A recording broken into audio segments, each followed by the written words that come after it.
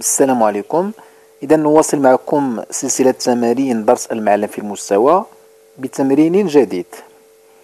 التمرين يقول نعتبر المستوى منسوبا إلى معلم متعامد ممنظم OSG السؤال يقول حدد إحداثيتي النقطة D بحيث AD المتجهة AD تساوي جوج BC علما أن إذا هنا أعطينا الإحداثيات ديال النقط A و B و C.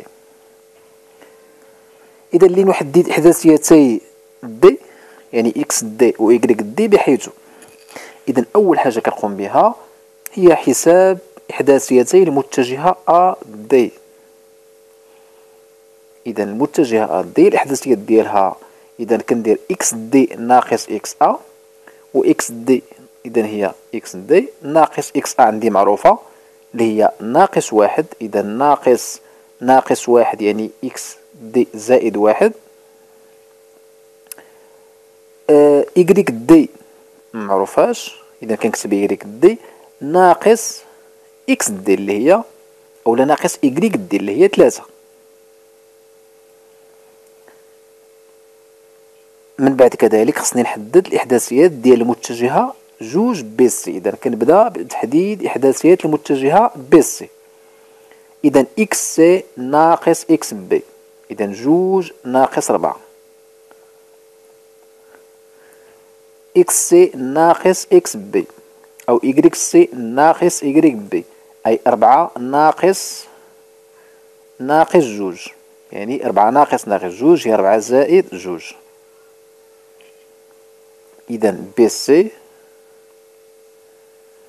جوج ناقص ربعة هي ناقص جوج. وربعة زائد جوج تساوي ستة إذا حنا خصنا جوج B C إذا غادي نضرب جوج في الأفصول وفي الأرتوب ديال المتجهة B C إذا جوج في ناقص جوج هي ناقص ربعة. وجوج مضروبة في ستة هي طناش. إذا لقينا دابا A D اللي كتساوي لنا X D زائد واحد. Y D ناقص ثلاثة. ولقينا جوج B C إذا حسب السؤال D تساوي B C ماذا تعني؟ إذا لدينا D تساوي جوج B C تعني إذا الأفصول ديال المتجهة D غيساوي الأفصول ديال المتجهة جوج B C تعني أن X D زائد واحد تساوي ناقص أربعة. والأرتوب المتجهة D غيساوي الأرتوب المتجهة جوج B C أي Y D ناقص ثلاثة يساوي اثناش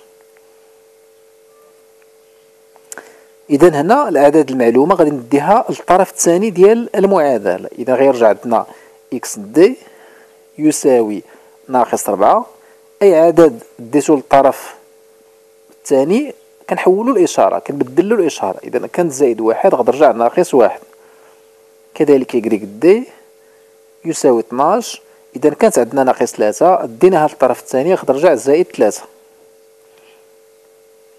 وبالتالي x D إذا ناقص ربعة ناقص واحد هي ناقص خمسة. و 12 ويكريك دي 12 زائد 3 هي 15 إذا D الإحداثيات ديالها ناقص خمسة خمسطاش.